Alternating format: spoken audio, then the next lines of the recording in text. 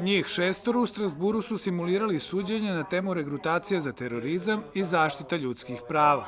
Tema veoma komplikovana, a protivnik u finalu veoma jak sa pravnog fakulteta iz Kopenhagena.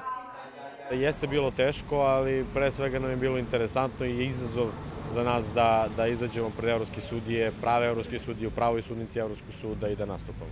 Nije laka tema, ali to je aktualna tema i bilo je zaočekivati da će tako na tu temu da bude slučaj.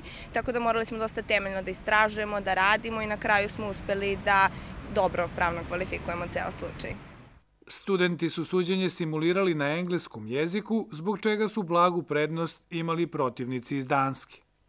Mnogi od njih su studirali u Londonu, imaju dosta praktičnog iskustva, svi mi znamo kakav je sistem obrazovanja uopšte u tim nordijskim zemljama, a mnogi od nas dugo nisu govorili uopšte engleski jezik i onda dok smo se podsjetili, ali uz, uz mnogo, mnogo stvarno truda i ulaganja, sve, na kraju, sve se na kraju isplatilo. Studenti sa Niškog pravnog fakulteta već godinama postižu vrhunske rezultate. Prošle godine bili su najbolji na svetu u pisanju predstavki iz oblasti medijskog prava na takmičenju u Oksfordu.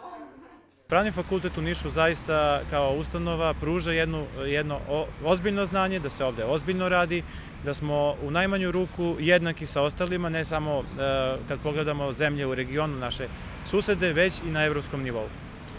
Niška ekipa se na finalno takmičenje u Strasburu plasirala kao najbolja od 12 timova na regionalnom balkanskom takmičenju.